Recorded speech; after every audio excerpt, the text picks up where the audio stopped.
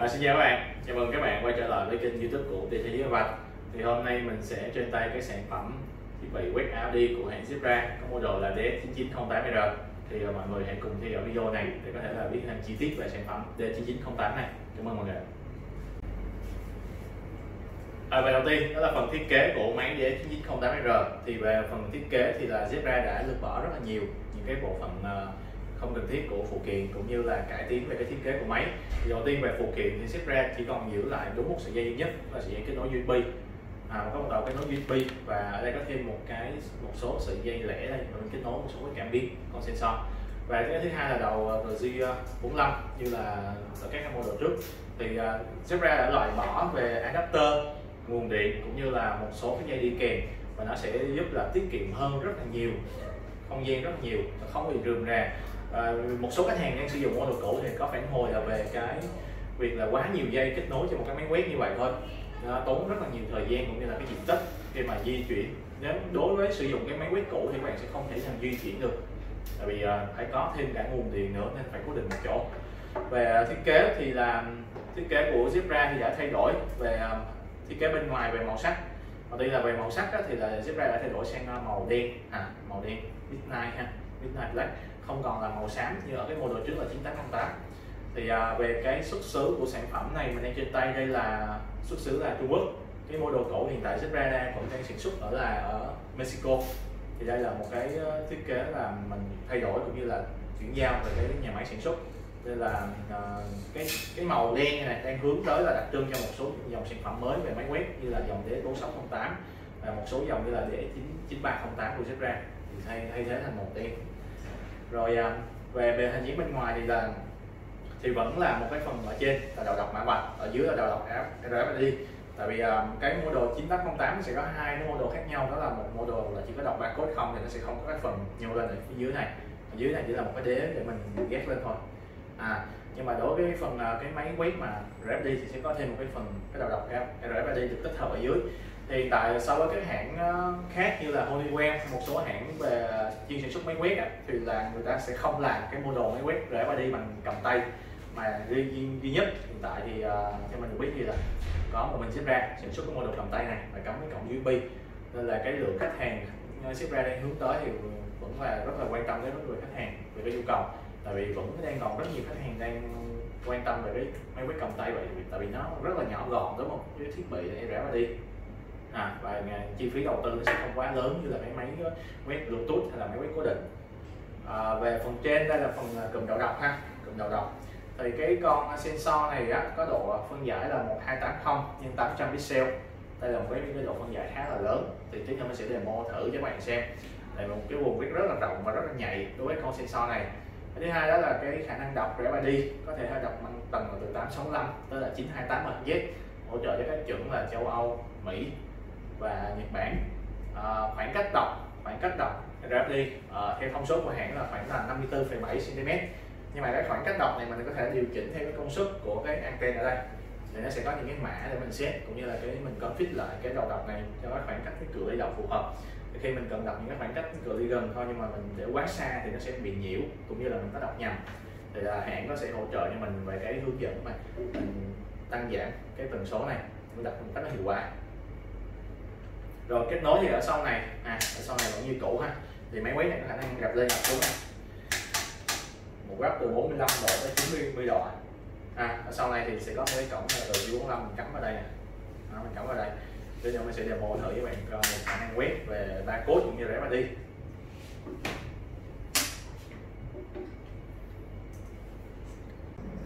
À, bây giờ mình à, sẽ kết nối thử và cũng như là quét demo cho các bạn cùng xem cái khả năng quét của máy D9908R này. Thì hiện tại chỉ cần mình cắm một cái cổng USB ha cổng USB vào máy tính này bắt đầu là mình cắm rồi 45 ha. Thì máy sẽ có hai chế độ là mình à, cầm tay và mình rảnh tay ở đây. Rảnh tay là mình để cố định như vậy và máy sẽ tự động phát tia cũng như là quét cái RFID còn mình cầm tay mình sẽ có cái cò bấm ở đây. Thì cái phần ở trên á thì mình là mình bấm là barcode bấm vào barcode thì nó sẽ sáng. À, còn ở dưới á là mình sẽ quét ID đi thì cái cái đèn nó sẽ sáng màu xanh ở đây nè. Đó đèn sẽ sáng màu xanh ở đây. Bây giờ mình sẽ quét thử cái khả năng quét barcode. Thì uh, cái quét barcode thì là hiện tại là máy D9908 thì là sẽ hỗ trợ cho mình là quét barcode 1D và 2D và tốc độ quét khá là nhanh. Mình sẽ quét thử cho bạn cùng xem ha. Đây mình có một số cái tem nhãn à, barcode đây. Đó thì máy quét khá là nhanh.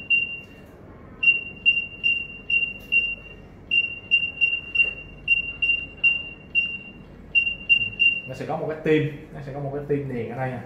Bạn sẽ thấy một cái tim liền ở đây. Cái chấm nhỏ thì mình lấy lấy cái khả năng quét. Và quét khá là nhanh so với cái dòng máy cầm tay thông thường.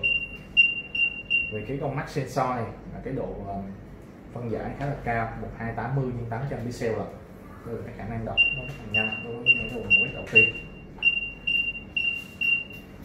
Rồi, đó là khả năng quét ờ, barcode của máy ờ, D9908 thì uh, mình sẽ quét thêm ở một cái chế độ là chế độ rảnh tay. Mình sẽ đưa vào như vậy nè. Đó. Chế độ rảnh tay. Thì quét rất là nhanh chế độ rảnh tay mình cũng phải cần canh và đúng cái vùng quét của nó chứ không phải mình đưa bất kỳ về cái vùng này cũng được. Ví dụ mình đưa sai như vậy sẽ không được này phải đưa vào cái vùng giữa ngay ngay tâm ha. Ngay tâm mình sẽ quét nhạy hơn. Đây là cái barcode được in trên những vải của bên mình. Ở trên là sẽ là barcode ở dưới là cái chip rẽ 3D đó, mình soi với cái thì các bạn sẽ thấy cái bản mặt anten cũng như con chip nhỏ nhỏ đây nè. Đó hầm trước đó sẽ in cái thông tin về cái cái vải đây. Đó cốt đây. Một số tem như tem giấy này cũng là tem tem rẽ 3D ha. Đó, ở dưới này sẽ có bản mặt, ở trước này là thông tin barcode bình thường đây là một số cái tem nhãn cứng thì bây giờ mình sẽ quét thử cái chế độ rẽ 3D của máy D908 rồi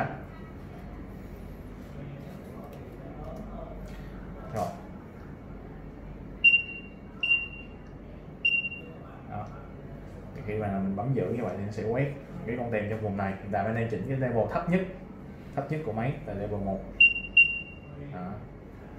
Là khoảng cách quét nó sẽ gần hơn nó tránh bị nhiễu hơn.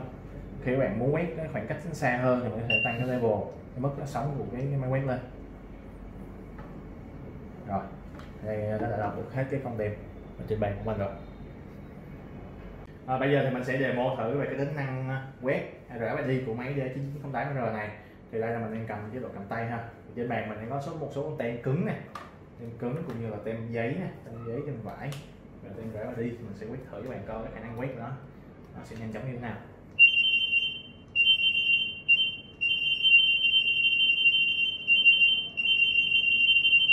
Ừ. Máy có khả năng đọc rất là nhanh nha mọi người. Thì về cái khoảng cách đọc thì có thể lên tới 54,7 cm đối với là theo thông số của hãng nên là cái khoảng cách này mình có thể điều chỉnh. Mình đang điều chỉnh ở đây là cái level cao nhất. Máy đọc khá là nhanh và nhạy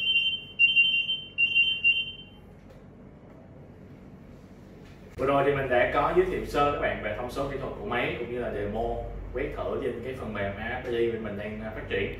Thì à, các bạn đang cần à, thêm thông tin về sản phẩm và cần xây dựng giải pháp kết hợp với là thiết bị D9908R của hãng Zebra này thể liên hệ với số hotline là 1900 3438 để các bạn kinh doanh sẽ hỗ trợ tư vấn cho mình thêm cảm ơn các bạn đã theo dõi video. Nếu thấy video này hay, các bạn hãy like cũng như share video này và nhớ nhấn đăng ký cái kênh của TFR để nhận được cái video tiếp theo nhé. Cảm ơn các bạn.